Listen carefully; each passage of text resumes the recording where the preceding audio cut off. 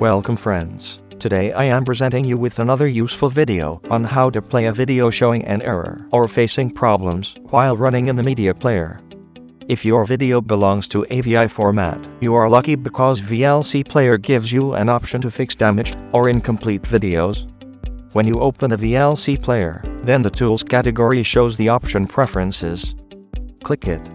In the Input Codecs Wizard page, you will see the option for damaged or incomplete AVI files. Use the drop-down and choose the Always Fix option. It will fix the AVI video whenever you play it again. Click the Save option. If the video belongs to other formats and you cannot play them, you should use the Kernel Video Repair tool. It can repair multiple videos at the same time.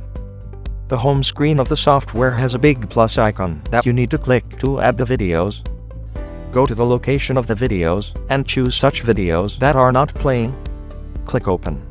The software has selected the videos, but one video requires a reference file in the case of highly corrupt files. A reference file is a healthy video of the same format. Then click Repair Files.